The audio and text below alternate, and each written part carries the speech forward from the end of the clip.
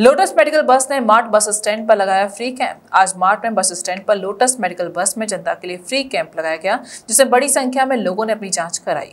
जिसमें दांत से संबंधित समस्या, आँखों की जाँच, general medicine, pathology ECG x-ray आदि की जांचें हुई।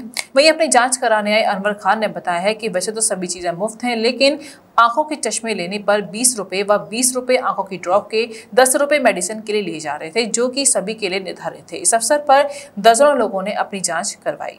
कैंप लगाया इसमें ये बस खड़ी है क्या क्या इलाज हो रहा है इसमें? यहाँ में आँख को इलाज है रहा है और कोई भी परेशानी हो वहाँ को इलाज है रहा है। कुछ पैसे लिया जा रहा है? हाँ जी बीस रुपया चश्मा के बीस रुपया ड्रॉप के दस रुपया दवाई के अच्छा।